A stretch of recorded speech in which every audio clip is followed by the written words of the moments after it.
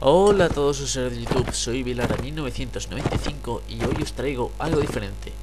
Os traigo el Mod and Blade with Fight and Sword en una partida de escaramuza para enseñaros un poco cómo va el juego.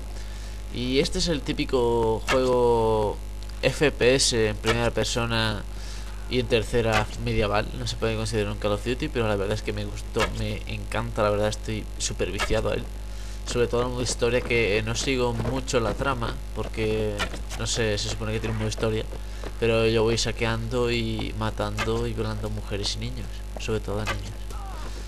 Y bueno, como podéis ver, es una escaramuza en la pantalla del poblado al lado del río, creo que es.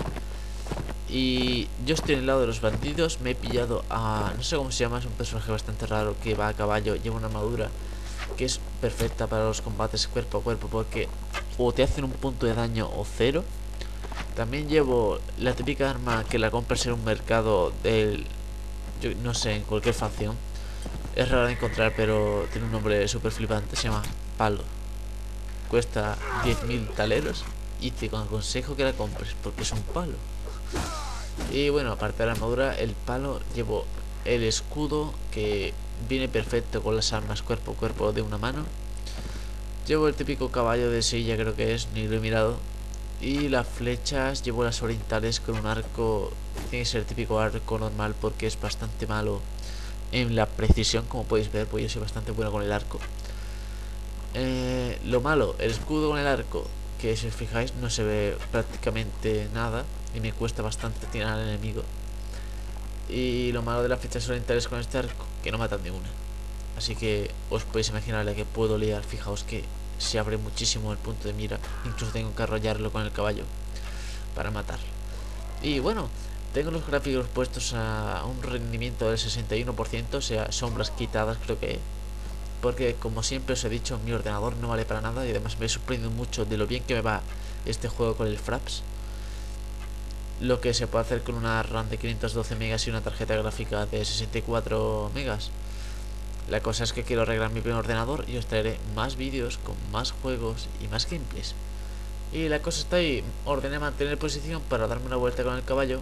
Básicamente llevo lo que son piqueros, son bandidos, no tengo otra cosa. Atacan con palos y hachas, así que imaginaos cómo, cómo me podría ir la partida, que la verdad es que me va bastante bien.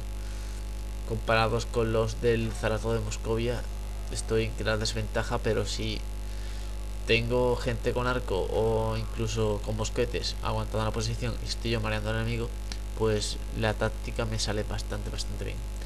Y bueno, aquí decido bajarme del caballo y enseñaros un poco cómo va la, el juego, lo que es intentando caminar, porque yo creo que darme un paseo con este hombre y además que yo no me canse puede ser un poco, puede ser muy eficiente. Y bueno, cosas de economía. Y bueno, aquí me está atacando un creo que se llama Guardia de la Nobleza, los típicos tíos pesados que van a, caballo. Y he decidido coger una lanza. Y la verdad es que de dos golpes, bueno, uno en el cuello del caballo básicamente, pues la derribo y total.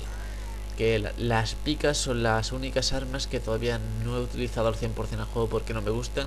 Llevo un hacha de batalla enorme creo en el modo historia porque mata de una. Y un arco compuesto, fuerte. Eh, toma palazo la cabeza en el modo historia. Y así que ya os contaré más sobre los atributos y todas esas cosas que tengo en el modo historia. Aquí finalizo prácticamente el gameplay con esta batalla super épica que estoy aquí. Esquivo, cambio de arma, esquivo, ataco. Y bueno, una buena lanzada en el pecho como que es muy... Es muy buena, la verdad. Lo único que no me gusta de este juego son los mosquetes porque tardan mucho en recargar, pero bueno, ya lo discutiremos más tarde, chavales. Y yo os dejo una pregunta, si habéis jugado este juego, ¿me podéis decir si hay ballestas o alguna parecida? Así que bueno, hasta la próxima chavales, adiós.